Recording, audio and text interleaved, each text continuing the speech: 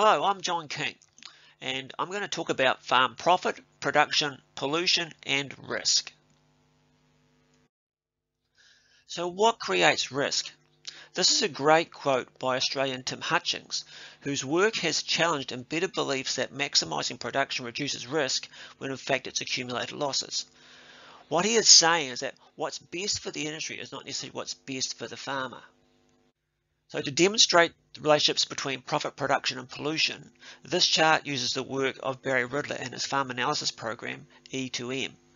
The example uses diminishing returns for nitrogen use on a bull beef operation. And so this is how we construct that. So this is the uh, nitrogen, sorry, this is the production for the nitrogen being used. This is the cost of that nitrogen. This is the income uh, that's being produced by uh, the nitrogen. And of course, if we minus the cost, we get the profit. And if we color in the production, we can see where the production is being maximized, the profit is actually declining, and that's mainly because of of, um, of rising costs. So there's always tension about who wants to be where on this chart. So let's have a look at who is where. So if you're a, a productionist, like a soil scientist or an agronomist or even a FERT rep, you want to be all the way up here at 100 kgs of N um, because that lifts production right to point T. Uh, now this is the behaviour that encourages excess fertiliser use, higher greenhouse gas emissions, maximises sale commissions, and luckily for farmers in New Zealand, uh, they can rely on the fertiliser rebates to feed their families here because they're not going to make any money, as you can see. Point S, okay? Ridler estate's many input-output models average total income and costs, creating point S, which coincides here at 65 kgs of N. This is where you know those with vested interests want to be. Point S produces more grass than point T and may make more money, but definitely not for farmers. In fact, farmers make much more money earlier where additional cost for every kg of nitrogen equals additional income created by it. This is at point R. In other words, up to this point at 42 kgs of nitrogen, every kg of nitrogen is making more money than it costs, whereas after this point, it's costing more money than it makes by steadily eroding previous profit gains.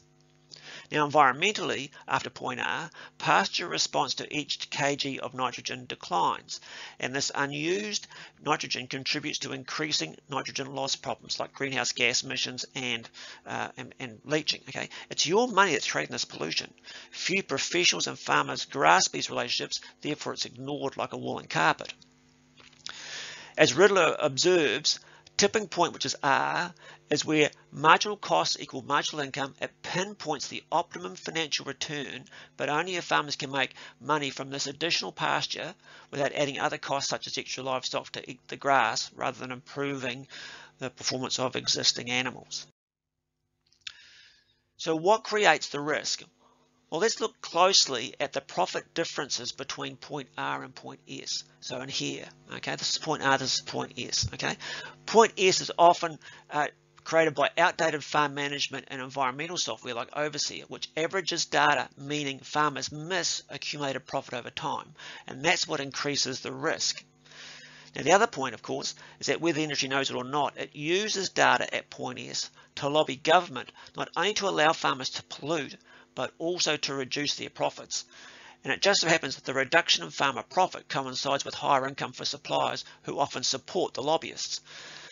The risk for farmers comes from lower profit and higher costs to deal with policy from industry ignoring the overuse of nitrogen. This heresy is what's costing farmers. So the surprising consequence of focusing on optimizing profit is a reduction in pollution and business risk. Now imagine if bankers, policymakers and environmental scientists became interested in this relationship. What might the industry gain? Barrie's one-liner is simple. If you get your economics right, then the environment will follow.